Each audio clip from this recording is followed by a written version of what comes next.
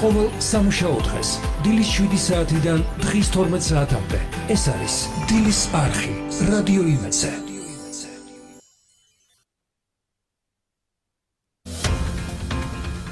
ეს არის დილის არხი რადიო იმედზე თეიკო ანჯაფარიძესთან ერთად.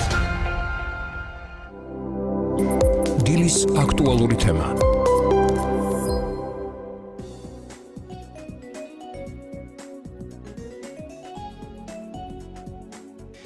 ერთხელ მოგესალმებით. დილამშვიდობისა რადიო მსმენელებო დადგა ჩვენი სტუმრის მიღების დროც და ჩვენი სტუმარი. ჩვენთან არის ჩვენ დავაანონსეთ ეიკო რომ იქნებოდა სტუმარი საქართველოსი ისრაელის ელჩი. ის ადამიანი რომელიც უბრალოდ 3 თვის წინ იყო ჩვენთან. კორონავირუსის ეგრეთ წოდებულ აქტიურ ფაზაში სამ შევიდოდა პანდემია გადავიარეთ ეს სამი თვე და ჩვენი სტუმარი დღეს ისევ გვესტუმრა მოგესალმებით. მოხარული ვართ რომ დღეს ჩვენთან ერთად ხართ. როგორ გაიარეთ ის დღე ის სამი თვე რომელიც ჩვენთვის განსაკუთრებით მძიმე იყო როგორც გონია გადავლახეთ ჩვენ ეს მართლაც მძიმე ეტაპი და როგორ იცხოვრეთ ჩვენთან ერთად იმ უჩინარტერთან რომელიც რომა ჩვენს ქვეყანაში შემოაღწია. Yeah together with this virus yes. Um Thank you very much. It's my pleasure to be here once again in your studio. Yes, the period of uh, coronavirus uh, pandemic was very difficult for all of us.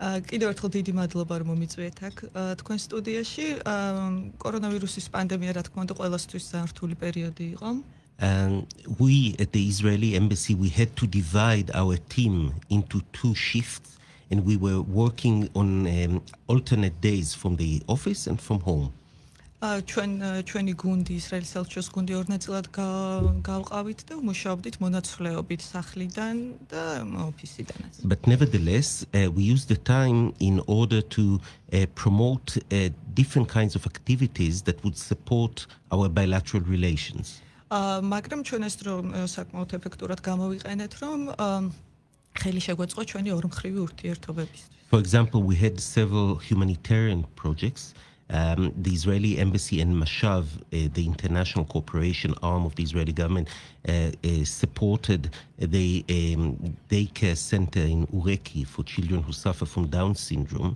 and uh, provided them with heating and air conditioning system. This is one example for humanitarian efforts. მაგალითად რამოდენიმე ჰუმანიტარული აქტივობაც გავაკეთეთ. მაგალითად მაშავთან ერთად დავეხმარეთ ურეკში ერთ-ერთ ცენტრს რომელიც ზრუნავს შშმს პირების ბავშვების ოჯახებზე. And also Mashav our international development cooperation agency um, conducted um, dozens and dozens of online seminars webinars uh, about uh, many different issues relating to coronavirus, like public health, like education, um, like ways to combat the rise in domestic violence that has we, we, we, saw all over the world during the period of corona. There was a rise in corona in uh, domestic violence. So Mashav provided online webinars, and we invited thousands of Georgian friends and partners and colleagues to take part in these webinars.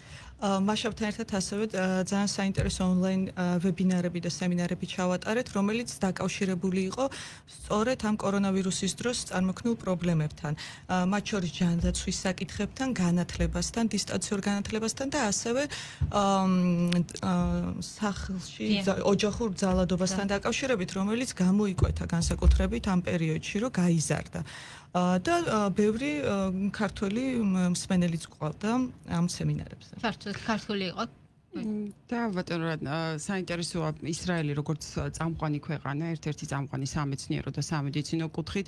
აქედან გამომდინარე რომ ეს საინფორმაციო წამყვანი ვარ და ვადევნებდი თვალყურს იმას იმასთან დაკავშირებით რომ ისრაელი მუდმივად მუშაობს ვაქცინის შექმნაზე ასევე რამდენიმე მიმართულება აქვს ეს პრევენცია, კვლევა და ვაქცინა. საინტერესოა ამ კუთხით რა შედეგს მივაღწია ქვეყანამ და არის თუ არა რაიმე ხელშესახების შედეგი რასაც მაინც მოუთმენ მელათველით, თუმცა ბევრი ქვეყანაა ამ პროცესში ჩართული.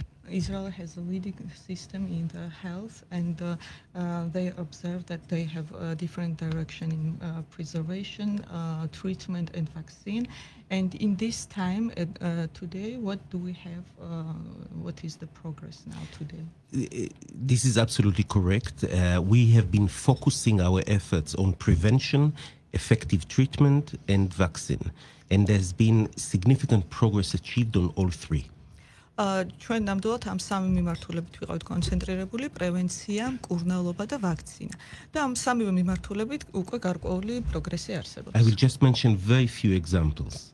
Uh, for example, in, in terms of effective treatment, uh, the European Investment Bank, EIB, gave 50 million euros to an Israeli startup called Pluristem, which has uh, developed uh, therapies uh, for COVID 19 based on placenta based cell therapy.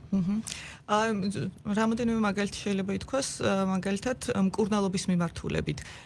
ევროპის განვითარების ბანკმა ესე იგი 50000 მილიონი დოლარით დააფინანსა ისრაელის კომპანია პლურის პლურისტემი, რომელიც რაღაც ინოვაციური მეთოდით, ანუ უჯრედული პლაცენტაზე დაფუძნებული მკურნალობით ახორციელებს ამ კვლევას მკურნალობის მიმართულებით. And another example is another Israeli company called Migvax uh, which already developed a vaccine, an effective vaccine against uh, another type of coronavirus that is common in poultry, in chicken. Mm. So now they are converting this vaccine in order to treat human beings, and they raised $12 million recently in order to support this research. ასევე ერთ-ერთმა სტარტაპმა Migvax-მა მოიძიე დააფინანსეს 12 მილიონი დოლარით. რომელმაც უკვე ცოტა ხნის წინ ერთ-ერთი ვაქცინა, ესე იგი, წარმატებით შექმნა.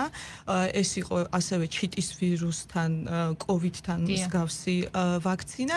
და ახლა ისინი აი ამ თანხას გამოიყენებენ, რომ უკვე ახალი კოვიდ-19-ის ვაქცინა შექმნან და ნუ უკვე ძალიან ახლოს არიან, იმიტომ რომ მსგავსი ტიპის ვირუსი Also, Also, Mashav established a high level forum mm-hmm. which meets once every week or two weeks with leading public healthcare experts from all over the world. They meet virtually online and exchange advice, information, and experience. And we invited three Georgian experts to take part in what in this very, very important forum, which contributes to this Eh, to developing solution for COVID-19. Ასევე მაშავმა შექმნა ძალიან ესეთი მაღალი წარმომადგენლობითი დონის ფორუმი, სადაც ყოველკვირეულად, ესე იგი, სამედიცინო სფეროს წარმომადგენლები იკრიბებიან სხვადასხვა კონსულიმეობით და განიხილავენ ბოლო მიღწევებს. და მათ შორის საქართველოსდან სამი წარმომადგენელი სისტემატურად იღებს ამ ფორუმში მონაწილეობას. ურთიერთობა გრძელდება, კვლევა გრძელდება და ერთი კითხვა თეიკო შეიძლება რთვით ტენიანობა, სიცხე, კლიმატი. არის იყო ესეთი მოსაზრება, რომ დადგებოდა ზაფხული, ვირუსი უკან წავიდოდა და შესუსტდებოდა მისი ძალა. რა ხდება ამ კუთხით თავად რა ხდება ისრაელში? საინტერესოა მონაცემები, იმიტომ რომ ერთგვარი ტალღისებური ფორმა აქვს ამას და რა ეტაპზეა ქვეყანა? ბრძოლის და არის თუ არა კლიმატი ამ შემთხვევაში? რაიმე იმოქმედა თუ არა? რას ამბობენ მეცნიერები? everyone was expecting that in the summer due to the climate uh, this covid would be uh, much easier to fight with this virus. So in israel um, together with this uh, high temperature uh, is it obvious that it's really um, that covid is really sensitive to the temperature? Um, I think it's too soon to have um, concrete conclusions about the situation with the virus. Uh, until a few days ago, we saw a, a dramatic decrease, a drop mm-hmm. in the number of infections. And in fact, uh, almost everything in Israel went back to normal, almost everything. სწორედ ასე იყო, რომ ძალიან დაეცა ეს ახალი кейსები ისრაელში და ეგონა, რომ უკვე ძალიან ნორმალურად მიდის ყველაფერი. However, in the past few days there's been a sharp increase again uh, in several schools in Jerusalem. მაგრამ რამოდენიმე სკოლაში ძალიან ძაფრად აიწია უცბად რაოდენობებმა ინფიცირების. შეზღუდვები მოხსნილია ის რაც ყველგან იყო დაწესებული. Uh, the measures, most of the measures uh, are already uh, yeah, eliminated. Eliminated, but mm-hmm. but now we are waiting to see whether these are isolated clusters in mm-hmm. those schools, in which case they can be treated locally, mm-hmm. or whether it will spread. We hope it will not spread. ხო, ეხლა დააკვირდებიან სწორედ იმ კლასტერებს, რომ რამდენად მოხდება მათგან გავრცელება, იზოლირება მოხდა, მაგრამ უნდა დაელოდონ შედეგები. But I, I think this is likely to happen all over the world. We saw I think yesterday in Sabotalo mm -hmm. the same thing. So იგივე პროცესებს ვადევნებთ რა თქმა უნდა საქართველოში, საქართველოში. ძალიან მნიშვნელოვანი არის რომ გადავიდეთ უკვე ეკონომიკურ ურთიერთობებზე და ძალიან მნიშვნელოვანი არის კორონავირუსის შემდეგ კრიზისთან გამკლავება. აი თუნდაც აი ამ მიმართულებით აი როგორ როგორ იქნება ახალი რეალობა აი ამ ახალი აი ამ ახალი რეალობის გათვალისწინებით როგორ იქნება საქართველოს ისრაელის ეკონომიკური ურთიერთობები. So uh, Israel uh, Georgia economic uh, relationships have to uh, start again after corona crisis. uh, and what is the new reality new challenges? I think uh, all countries in the world, even the United States of America, even Israel, certainly Georgia, suffered a huge economic crisis as a result of the pandemic. ამ პანდემიის შედეგად არა მხოლოდ საქართველო, არამედ ამერიკის შეერთებული შტატები და ისრაელიც კი ძალიან ეფექტი ქონდა მას ეკონომიკურ სტაზე. And I think the most immediate challenge is to provide employment to people. და ყველაზე პირველი და მთავარი საკითხი არის, რომ დასაქმების პრობლემა გადაიჭრას პირველ პირველივე ეტაპიდან. However, um, the outcome of the pandemic also presents us with opportunities how to recalibrate or change our economies in such a way that would be more environmentally friendly, for example. ასევე გარკვეული შესაძლებლობებსაც იძლევა ეს კრიზისი, რომ ამ კრიზისიდან გამოსვლის დროს ისე რედიზაინი მოვახდინოთ ჩვენი ეკონომიკური სტრუქტურის, რომ ა უფრო გარემოსადმი მეგობრული გახდეს ეს ურთიერთობები, ეკონომიკური ურთიერთობები. Specifically in the context of our bilateral relations, we are negotiating negotiating very intensively with the Georgian government a green corridor, a safe corridor, so that uh, Israeli tourists would be able to start coming to Georgia very, very soon. ამასთან მიმართებაში აღსანიშნავია, რომ საქართველოს მთავრობასთან მიმდინარეობს ძალიან ინტენსიური მოლაპარაკება მწვანე კორიდორთან დაკავშირებით, რომ რაც შეიძლება სწრაფად ჩამოვიდნენ ისრაელიდან ტურისტები საქართველოში და აღდგეს. Last last year there were over 200,000 Israeli tourists in Georgia. And during the height of the tourism season, we had 42 flights, direct flights every week. ესე იგი შაშენ 200.000 ტურისტამდე იყო საქართველოში და ყოველ კვირას 42 პირდაპირ ფრენა სრულდებოდა. And the, which means that uh, Israel was um, uh, the Israel was responsible for the biggest group of foreign tourists coming to Georgia from any country in the world that wasn't part of the USSR. ისრაელიდან შესაბამისად ისრაელიდან ჩამოდიოდა ყველაზე მეტი ტურისტი სოფლიოში იმ ქვეყნებიდან რომელიც არ იყო დსთ-ს წევრი. Uh, I would also like to mention the fact that uh, we have a new organization, a bilateral Israel Georgia Chamber of Commerce, that has already been created in Israel and will soon be created also in Georgia. აა ასე უნდა აღნიშნოთ, რომ ჩვენ გვაქვს ახალი ორგანიზაცია ისრაელ საქართველოს სავაჭრო პალატა, რომელიც უკვე რომელმაც უკვე გაიარა ლეგალური ეტაპები ისრაელში დარეგისტრირდა და მალე უკვე საქართველოსშიც გაიხსნა. This organization is very important because it will provide for the first time in 30 years with a platform and instrument for boosting bilateral trade and investment and ultimately that would provide more jobs.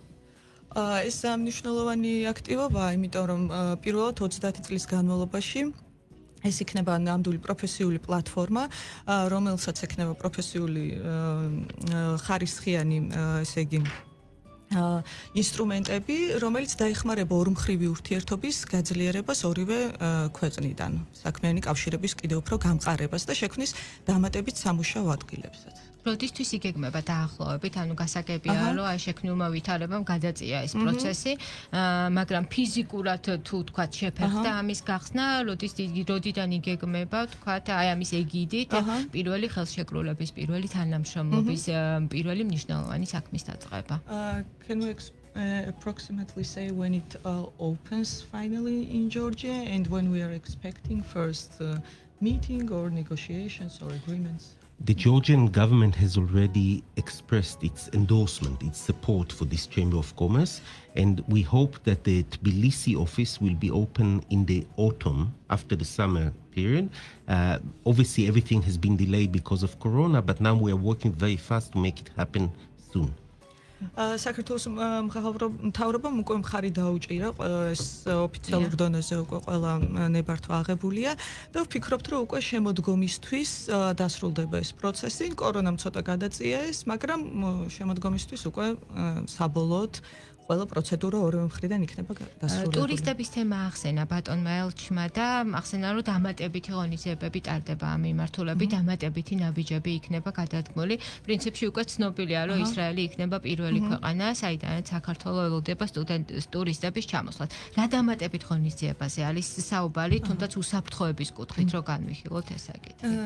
Can we talk a little bit more about the uh, some additional measures regarding the this safe corridor of for the mm -hmm. tourists uh, what will be additional events or measures well um, the reason why Israel and Georgia are so close to an agreement, a bilateral agreement, is because in both countries uh, we saw very effective measures adopted by the two governments, which means that both Georgia and Israel have been very fortunate in having low infection rates. Um, uh, საქართველოს ისრაელის ეს ორმხრივი შეთანხმება იმიტომ განხორციელდა, რომ ორივე ქვეყანამ წარმატებით გაართვა იმ გამოწვევებს ამ პანდემიის დროს და შეინარჩუნა დაბალი შედარებით დაბალი მაჩვენებელი. So the most important thing to realize is that both Georgia and Israel initially during the initial period will only sign agreements with other countries with low infection rates. და სწორედ ამიტომ მხოლოდ იმ ქვეყნებთან ხდება შეთანხმება საქართველოს მხრიდანაც და ისრაელის მხრიდანაც რომელ ქვეყნებსაც ძალიან დაბალი ის ჰქონდათ რა ქვია ინფექციის დონე. We also respect very much the fact that the the Georgian statistics the information that was released by the authorities here is accurate and reliable unlike other countries in the region where sometimes you can't really trust the official statistics. ასევე ჩვენ ძალიან ვაფასებთ იმ ფაქტს, რომ საქართველოს მთავრობა და შესაბამისი ორგანოები ძალიან აკურატულად და ზუსტად იძლეოდნენ სტატისტიკას და ზუსტად აღრიცხავდნენ ყველა ინფექციურ кейს და ძალიან პროფესიონალურად ახორციელებდნენ ამას. But uh, responding to your question, we are developing a formula that would allow Georgian people to go to Israel and Israeli people to come to Georgia without having to go into isolation. ჩვენ ეხლა ვმუშაობთ იმ ფორმულაზე და ფორმატზე, რომლის მიხედვითაც ქართველი ტურისტები ისრაელში და ისრაელის ტურისტები საქართველოში ჩამოვლენ იმ ისეთი ფორმით, რომ არ მოუწიოთ каранტინის, იზოლაციის პერიოდის გავლა. And I think most of the measures that have been announced by uh, the Georgian government in respect of uh, uh, restaurants or hotels or bars people where uh, places where tourists tend to go these measures are acceptable to us and they will remain in force და ის ღონისძიებები ასე ვთქვათ, ნუ დროებითი შეზღუდვები, როგორც ეტაპობრივად მიმდინარეობს და თავრობის მიერ იმპლემენტირებულია, სწორედ ის შესაბამება ჩვენს მოდლოდინს და მოთხოვნას, რომ ტურისტების გაცვლა მოხდეს. ძალიან დიდი მადლობა გადაცემაში ახლა რეკლამის დროა და რეკლამის შემდეგ ჩვენ ისევ დაბრუნდებით პირდაპირ ეთერში. დილის აქტუალური თემა. რადიო იმედის ეთერშია რეკლამა. კრისტალბეტზე ყველა სპინი იგებს. ითამაშე ნებისმიერი სლოტი დაგროვებული კულებით დაატრიალე სასურველი კოქტეილი და მიიღე მომენტალური პრიზები. მოიგე წილი მილიონი ლარიდან და უახლესი რეინჯ როვერი. კრისტალბეტი, მუდამ ნომერი პირველი.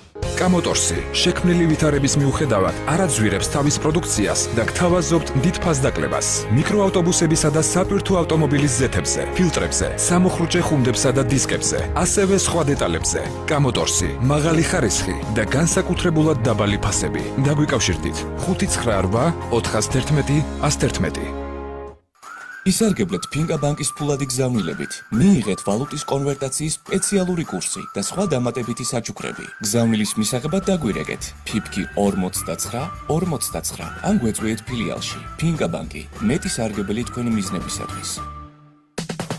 პირველად საქართველოში ბეტმარკეტი ლიდერ ბეტისგან ინოვაცია გემბლინგში რომელიც საშუალებას გაძლევთ შეიძინოთ სასურველი პროდუქტები თქვენთვის ან აჩუქოთ მეგობარს. შეიძინეთ ფრისპინები ფრიბეტები და ექსკლუზიური ბონუსები ფასდაკლებით. ასევე დააგროვეთ ქულები ლიდერ ბეტზე არსებულ ყველა თამაში და გადაცვალეთ სასურველ პროდუქტებზე. ბეტმარკეტი დააჩქარე მოგება მხოლოდ ჩვენთან ეკოლოგიურად სუფთა ხორც პროდუქტების კომპანია ქართული სახლი. გთავაზობთ საკუთარ ფერმაში. უახლესი ხორცისგან დამზადებულ უგემრიელეს ცეხვებსა და დელიკატესებს დელისიას. დელისია. სოიოსა და კონსერვანტების გარეშე. დელისია.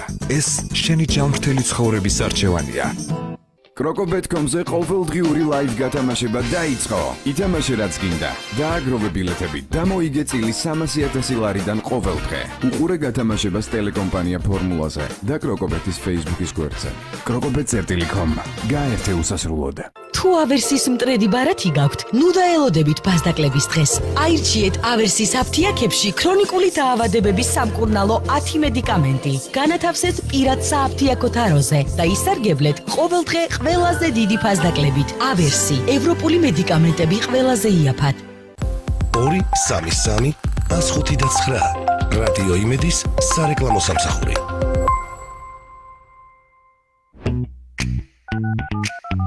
გაიგე თვინგი რეკავთ.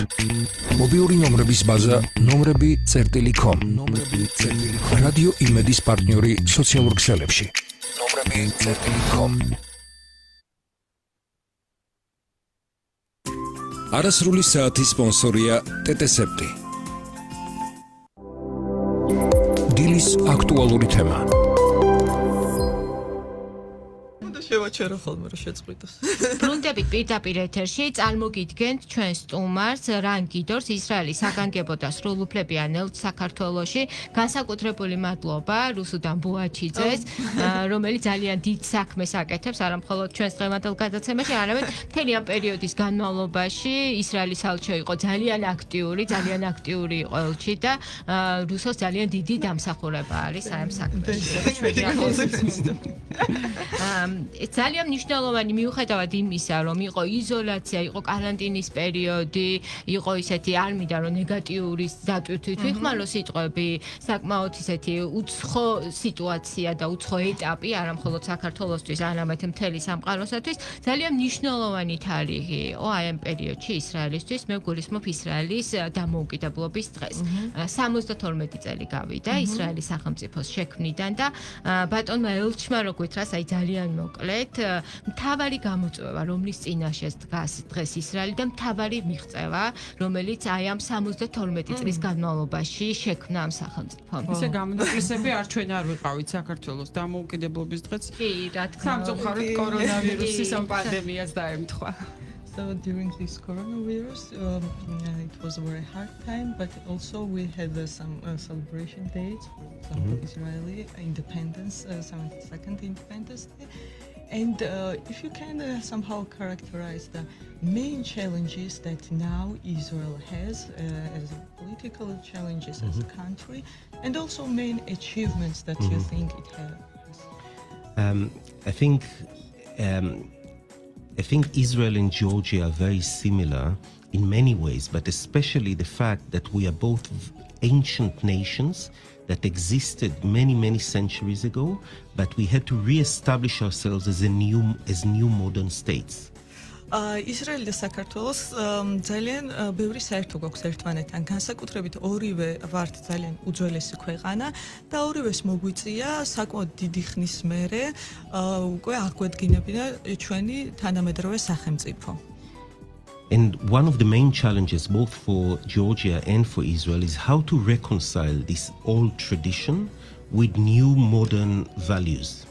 და ის აურივე ქვეყნისათვის მე ვფიქრობ ეს არის ერთ-ერთი ყველაზე საინტერესო გამოწვევა რომ როგორ გავერთიენოთ ეს ჩვენი უძველესი კულტურა და ასევე თანამედროვე ქვეყანად დავრჩეთ ასევე ახალი გამოწვევებსაც უპასუხოთ This tension between old traditions and modern values is something that all societies are concerned with but especially in Israel and Georgia, and where we can see the tension between secular people and religious people, between um, uh, people who think that uh, the role of women should be more conservative, and people who are in favor of more uh, feminist approach, also in terms of gender and sexuality and other issues. აა ანუ აი ორივე ქვეყნის საზოგადოებაში არის ეს ასე ვთქვათ ნუ დაძაბულობა სავით რომ ყველა ამაზე განსაკუთრებულად ემოციურად უდგება ამ საკითხს, რომ ტრადიციების უნდა შევინარჩუნოთ და თან თანამედროვე ქვეყანაც ვიყოთ, მაგალითად, გენდერული თანასწორობის მიმართულებით. ზოგი საზოგადოების დიდი ნაწილი შეიძლება სეკულარული იყოს, მეორე ნაწილი შეიძლება ძალიან რელიგიური იყოს და შესაბამისად აი ამ ეს პროცესი არის თანდევი პროცესი. But this, this kind of uh, debate is actually a symptom for a healthy, open democracy. The, the fact that uh, different people can express different views in a very passionate, open minded way მაგრამ ის ფაქტი, რომ ეს პროცესი არის საჯარო ეს დისკუსიები, ეს მეტყველებს ჯანსაღ დემოკრატიას. ეს ძალიან სწორი სიმპტომია. თუ ქვეყანა სწორად ვითარდება, ეს ასეც უნდა იყოს. Israel was established for 72 years ago by refugees, mostly refugees from the Holocaust. Who came to Israel without anything. My father came to Israel at the age of 19, having survived the Holocaust in uh, Hungary. ისრაელი დაფუძნებულ შეიქმნა იმ ადამიანებისგან, ემიგრანტი ადამიანებისგან, რომლებიც დაბრუნდნენ სხვადასხვა ქვეყნიდან და ფაქტიურად არ ჰქონდათ არაფერი. მისი მამაც ასევე დაბრუნდა ისრაელში 19 წლის იყო, როდესაც ისრაელში ჩავიდა და ფაქტიურად არ ჰქონდა არაფერი. So our biggest achievement is that 72 years after miserable poor helpless Holocaust survivors arrived in Israel, now we have a country which is one of the most prosperous in the world. ერთ-ერთი მთავარი მიღწევაა რომ ეს ასე ვთქვათ ნაშიმშილარი ხალხის მიერ შექმნილი სახელმწიფო 72 წლის შემდეგ არის ერთ-ერთი ყველაზე აყვავებული აყვავებული ეკონომიკით. But our biggest challenge now is what to do with this prosperity.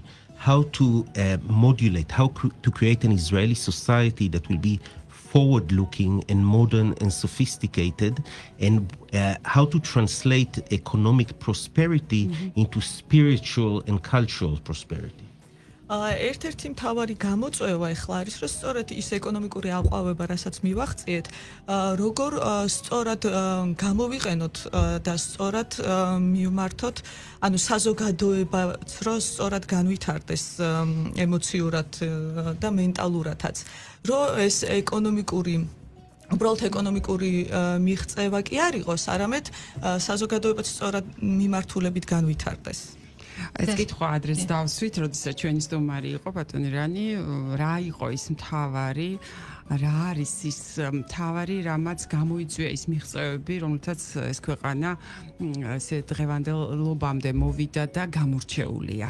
და კიდევ ერთ დავამატებდი, ალბათ თვითონ სახელმწიფოების სახელმწიფოებრივი იდეა ჩვენ რაღაცა ცოტა ვიმოგზაურეთ ისტორიაში, თუნდაც ის ცნობილი გამოთქმა მომავალ წელს იერუსალიმში, როგორ აგროვებდნენ თქვა ყოველ პარასკევს, ჩვენ ვიცით არა მხოლოდ ლიტერატურით და ვიცით, არამედ ფაქტებსაც, კონკრეტული ოჯახები ფულს რომ შეექმნათ სახელმწიფო და აქ მიწაზე დაბრუნებული იყვნენ. თვითონ ეს სახელმწიფოების იდეა იყო ძალიან მნიშვნელოვანი.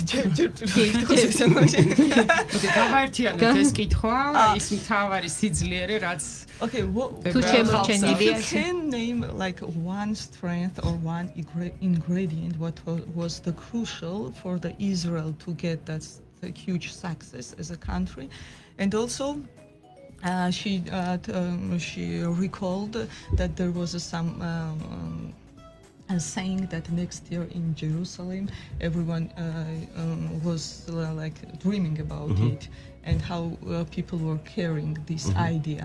Uh, and if you can talk also about და თუ არის შენარჩუნებული აი ეს ხაზი მომავალ წელს იერუსალიმში აი ეს ხაზი დღეს სახელმწიფოებას თუ დაძდევს ლაიტმოტივად მის Um, მოქალაქეებს? and and still if people have this uh, in in the mindset at the same level or uh, how it changed Yes, uh, I will start with the second part of the question, if I may. yes, uh, the one thing that kept the Jewish nation together, despite the fact that we spent 2,000 years in the diaspora, was the dream of returning to Jerusalem ამ მთავარი აა, რაც აა, ებრაელ ხალხს აერთიანებდა ის სხვა- სხვადასხვა ქვეყანაში როცა იყვნენ მიმოფანტული ეს აა, იდეა და აა, ოცნება რომ დაბრუნებულიყვნენ იერუსალიმში So for 2,000 years, it was, it was a dream, but it was also the glue. It, it, that was responsible for keeping Jews who lived in Georgia and the United States, in Russia, and even in Africa together, united around one idea. ეს იყო ერთის მხრივ ოცნება მაგრამ მეორეს მხრივ ის რაც აერთიანებდა აძლიერებდა მათ ერთობას ნებისმიერ ებრაულ საზოგადოებას სხვადასხვა ქვეყანაში And uh, many of us in Israel are only first generation born in Israel, like myself. We still have millions of people who were born in other countries. So this idea is still very strong in, in, in a, a crucial part of our collective mentality. აა ისრაელში დღესაც არის ძალიან აა, ბევრი ხალ ესე იგი მოქალაქე რომელიც დაი- დაიბადა შეიძლება დღესაც აა, სხვა ქვეყანაში დაიბადა მაგრამ მისი აი ამ ეს თაობა არის რომელიც ჩავიდა ისევ ისრაელში For example, we have in Israel over 100,000 Georgian Jews who came to Israel since the, the 1970s. So uh, they still keep their, their um, uh, affiliation with Georgia, and for them, the idea that we go back to Jerusalem is still a very fresh one. აა, მაგალითად ეს ესეთი თაობა არის ქართველი ებრაელებიც რომელიც აა, 97 90-იან წლებში დაბრუნდნენ ისრაელში და ანუ მათთვის ეს ეს იდეა ისევ ესეთი ძლიერია And uh, the first part of the question, if I had to choose only one reason for the success of Israel, I would say that it is education. The fact that throughout history, for 2,000 years, uh, for Jewish families everywhere around the world, edu- education for the children was the most important part of the family expenditure. თუ უნდა ავირჩიო ერთი მიზეზი, რატომაც ისრაელმა მიაღწია ამ წარმატებას, მე დავასახელებდი განათლებას.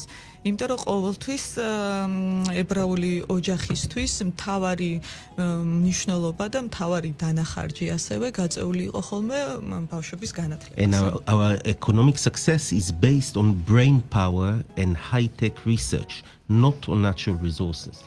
და ასევე მათი ეკონომიკური წარმატება და მიღწევები და დაფუძნებულია ინტელექტუალურ სფეროებზე, ჰაი-ტექის მიღწევებზე და ასე შემდეგ. მოკლედ ფორმულაც ამოხსენი და მიღწევის და ასე შემდეგ.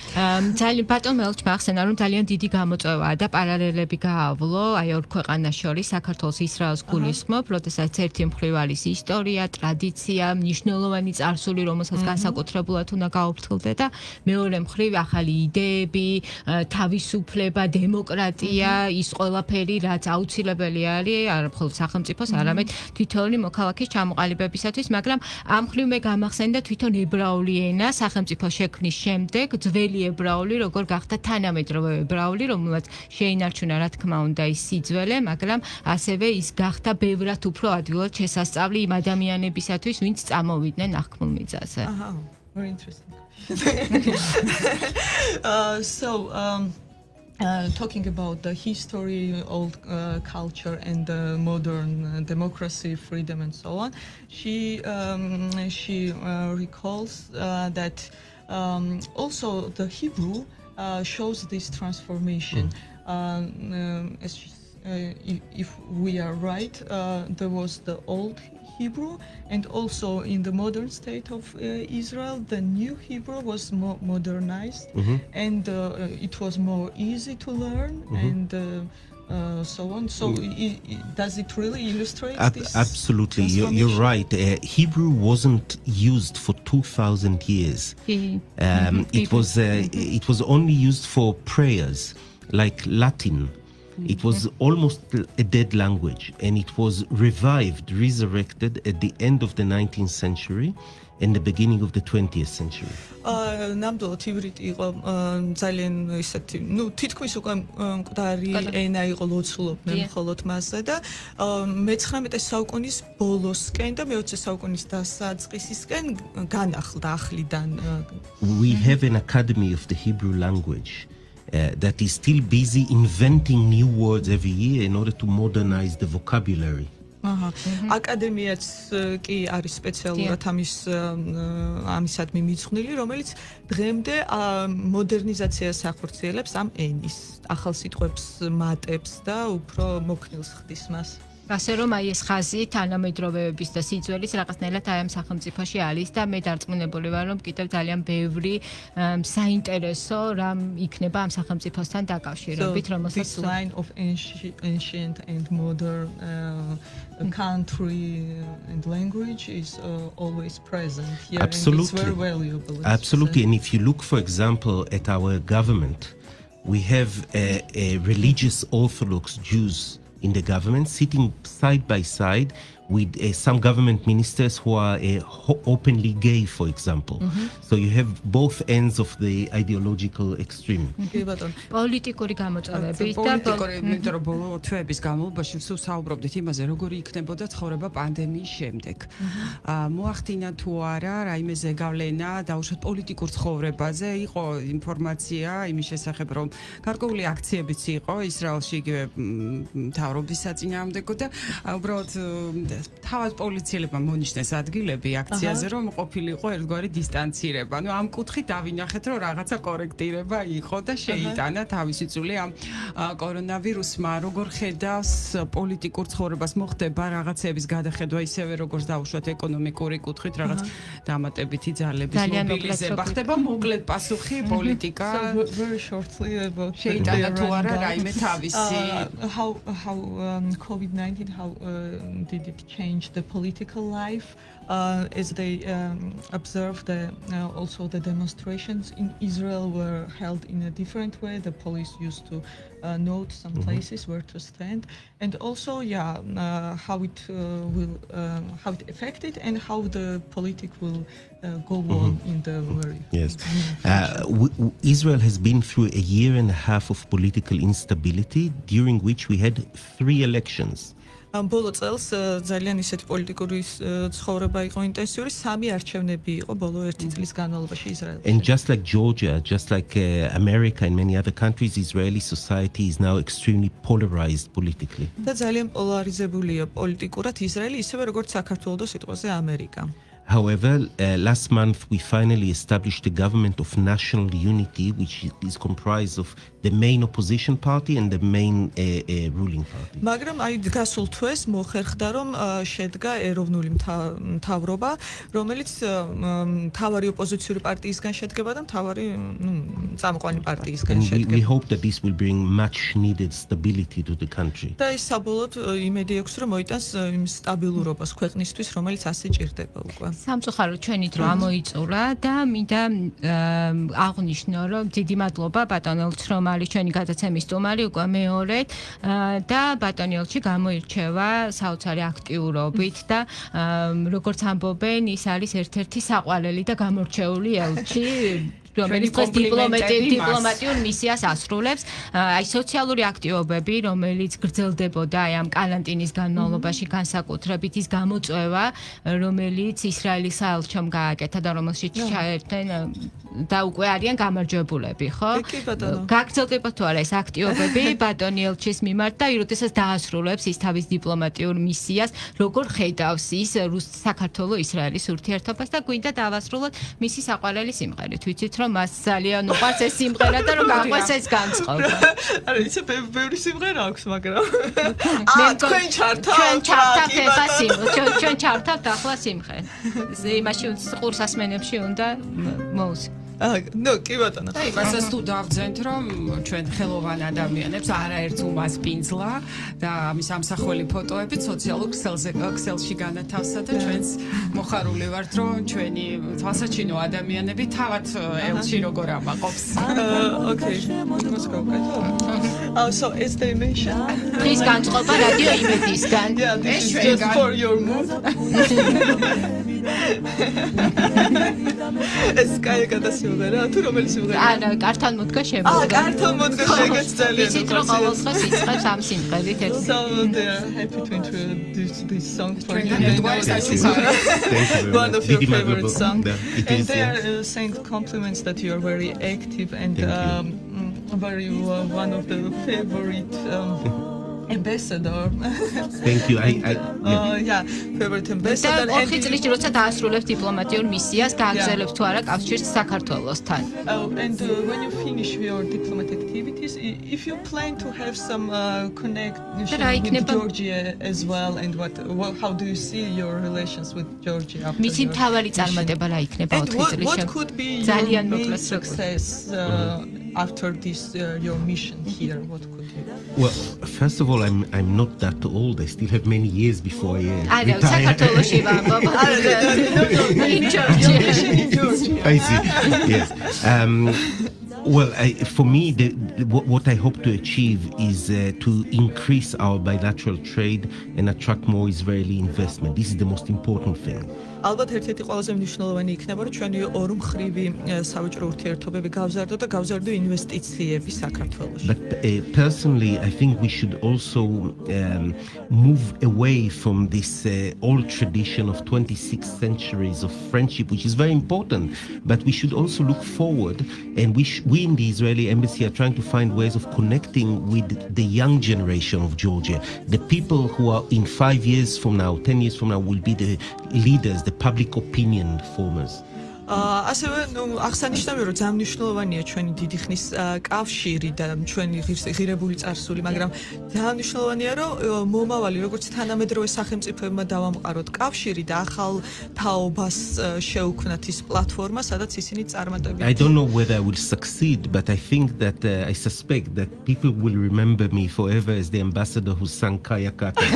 არ ვიცი რა წარმატებას უნდა მივახცია, მაგრამ მე მგონი ხალხი უფრო დამიმახსოვრებს როგორც ელჩ, რომელმაც სიმღერა кая კატა. ძალიან დიდი მადლობა და მინდა დავამთავრო, ხო ჩვენ ბევრი ვისაუბრეთ, ვიმოგზაურეთ ისტორიაში და მინდა დავამთავრო ესეც გაივლის. ეს ეტაპიც აუცილებლად გაივლის აი ამ სიტყვებით და რა თქმა უნდა ჩვენ შევხვდებით ისევ სტუდიაში გარკვეული პერიოდის შემდეგ და ვისაუბრებთ ახალ მიღწევებზე. Okay, thank you very much and she would like to address all this uh, crisis uh, during the corona that this will go away as well.